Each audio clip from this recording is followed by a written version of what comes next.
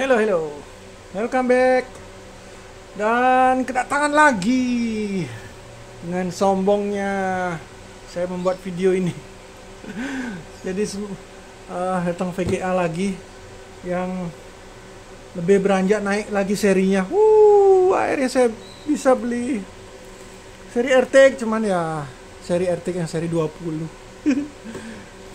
Dan mereknya ya apa nih ya mereknya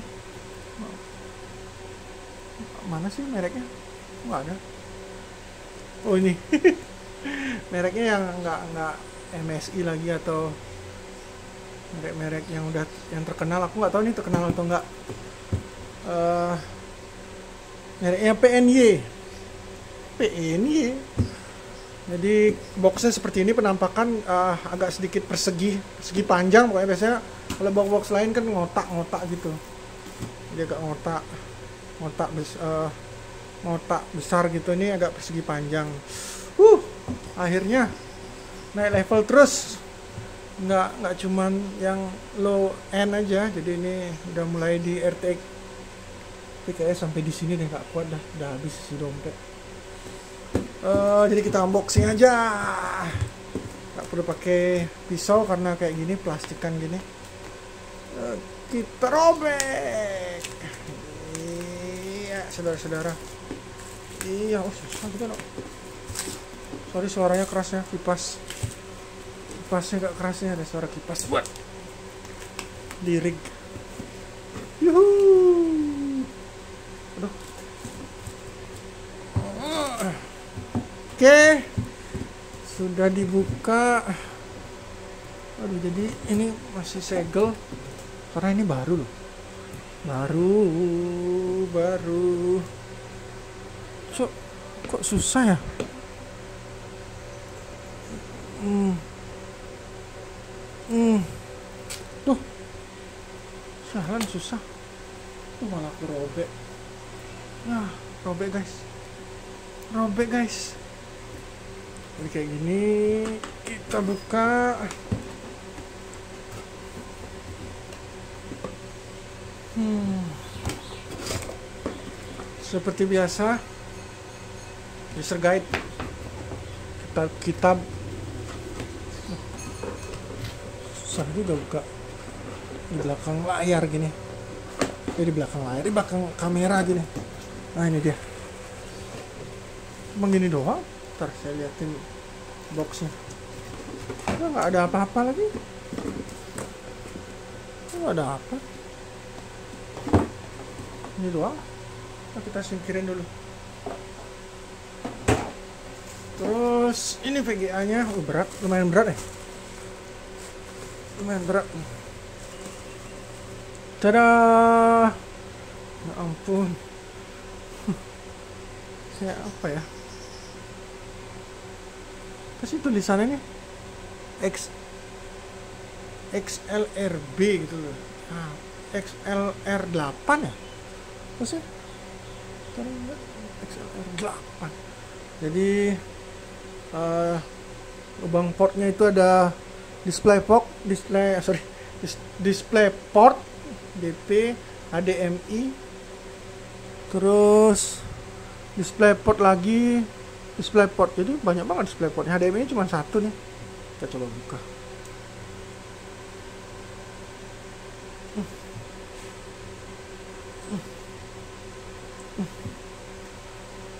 Ya, HDMI cuma satu. DisplayPortnya ada empat ini di sisi bawah. Uh, ini merek Cina kayaknya. Woi, woi, woi, woi, woi, kok kayak gini? Layar. Woi. Nah, ini dia. Merek Cina kayaknya, nggak tahu juga sih. Nah, ternyata dia nggak pakai uh, backplate belakangnya jadi nggak ada backplate nya biasanya kalau RTX yang Asus itu ada backplate nya atau yang MSI ada backplate B PNY PNY oh ya lupa. Saya tunjukin 8 pin. 8 pin port. Pakai 8 pin. Karena seri masih seri RTX 20-an kalau yang 3060 baru mungkin 8 plus 6 kayaknya. Ini masih di RT yang paling pertama kayaknya. Ya kayak gini aja. Jadi agak norak. Warnanya ada warna hijau-hijaunya gitu. Oke. Nanti kita coba tes hash rate-nya kita coba hash rate-nya oke. Ini boxnya. Saya liatin boxnya juga. Nah, ini dia. Sekali lagi. Uh. Wah, susah banget sih. Kotaknya lucu. Ini dia. Set jatuh. Nah, kayak gitulah. RTX GeForce RTX 2060. Ini mereknya PNY. PNY.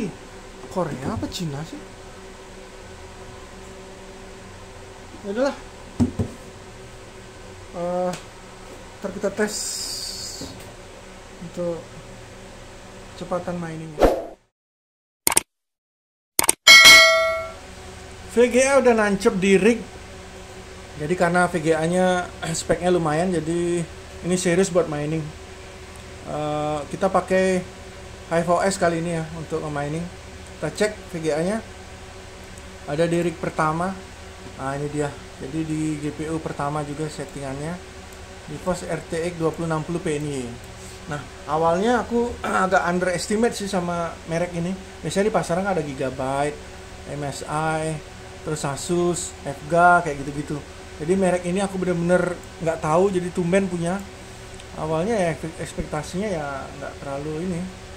Mungkin bagusan yang merek-merek sebelah lah cuman ternyata kenyataannya uh, di luar ekspektasi. Jadi kita lihat di sini uh, eh, PNY dapat speednya 32,25 mHz.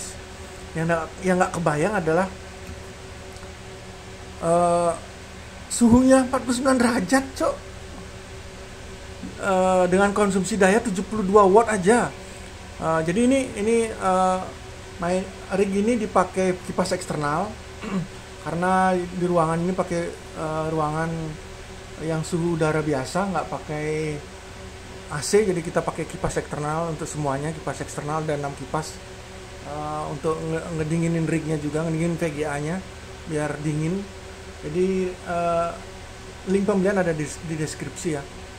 Nah itu dia kembali lagi ke VGA nya uh, kita cek dulu. Ini uh, overclocknya. Jadi di core clocknya 1020 Memory clocknya 1850, power limitnya 125. Ini hampir semua sama karena tipenya sama RTX 2060. Cuman perbandingannya coba lihat. Di sini ada gigabyte nih. Ada gigabyte. Dapatnya 32,23. Tapi temperaturnya kita lihat 56 derajat. Terus uh, power lim, uh, power consumptionnya konsumsi dayanya 83 watt perbandingan coba sama ini PNY kita lihat PNY 72 watt Wih, bayangin ya beda lagi 11 dra 11 watt ya. Di 11 watt nih bedanya. Terus jadi panasnya ya 49 jadinya dibanding yang atas 56. Gila nih PMI keren keren. Jadi 49 derajat. Jadi beda lagi 7 derajat loh. Di bawah 50 tuh udah oh keren ya. Ini pakai suhu ruangan loh. Ini mining Ethereum ya. Uh, ini mining Ethereum jadi jadi ya speednya rata-rata hampir sama karena mereknya tipenya sama. Terus kita perba perbandingan lagi. Kebetulan karena ada beberapa merek nih dalam satu rig. Asus ini dapat speednya sama 32,25 uh, eh, temperaturnya lumayan 50 tapi tetap ini lebih rendah lagi satu derajat. Tapi cuma kita lihat konsumsi daya 83 watt. Wih irit banget hemat daya banget PNY dan dan satu lagi Asus ini uh, dia pakai bagus ya Asus pakai backplate-nya bagus. Jadi makanya temperaturnya bagus. Ini Asus uh, recommended juga yang tipe ini. Pakai 2060 dia pakai backplate. Di belakangnya jadi dingin temperaturnya lumayan dingin. Cuma harganya pasti lebih mahal ini kayaknya Asus. Tapi kita kembali lagi ke PNY PNY ini nggak pakai backplate loh belakangnya. Ini tadi kita lihat nggak pakai backplate. Uh, pas waktu unboxing unboxing kita lihat nggak pakai backplate loh. Cuman ya temperaturnya 49 derajat karena dia pakai konsumsi daya kecil banget 72 watt Woi, keren keren keren. Di luar ekspektasi dan kita coba perbandingan lagi uh, turun ke bawah GPU 4 ini. Ini ada MSI. Dapat speednya agak di bawah dari mereka semua.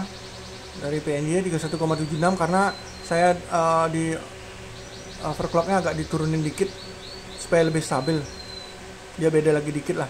Lagi seratusan. Ini kan 10 1850 ini 1750. Karena ini stabil aku kalau overclock lebih tinggi lagi nggak stabil. Tapi lihat perbandingannya. Panasnya di 57 derajat. Oh perbandingan sama ini lagi 8 derajat. Terus uh, konsumsi daya ini 82 watt. Ini 72 beda lagi 10 bayangin 10 watt tuh lumayan loh kalau kita hidupin berhari-hari lumayan. Jadi ini VGA recommended banget bukannya apa ya bukannya endorse ya ada yang endorse ya. Tapi ini keren nih. Keren PGA ya. Kalau ada rezeki kita akan beli lagi nih kayak VGA ini. Terus ini uh, memorinya biar tahu juga Samsung. Jadi R6 Samsung ya tipe memorinya. Uh, ternyata Samsung nih. Gigabyte juga Samsung. Ini Samsung bukan Micron atau Hynix ya. Jadi Samsung siapa tahu mau ada yang mau ngecek mau beli biar tahu ini uh, memorinya Samsung. Katanya sih memori Samsung enak di overclock katanya sih gitu. Oke uh, demikianlah uh, penjelasan untuk VGA RTX kali ini RTX 2060 mereknya PNY jadi sekali lagi di luar ekspektasi keren. Dengan konsumsi daya skin uh, 72 watt temperaturnya 49 watt rendah dapat uh, kecepatan 32,25 mAh cuman mungkin teman-teman ada settingannya lebih tinggi dari ini pastinya aku yakin. Kalau saya sih senangnya di sini karena dia stabil banget. Uh, stabil banget. Uh, kita udah mining 12 jam nggak ada drop sama sekali nggak ada error sama sekali. Stabil banget mining ethereum kali ini. Oke demikian penjelasan kali ini. Semoga bermanfaat see you next time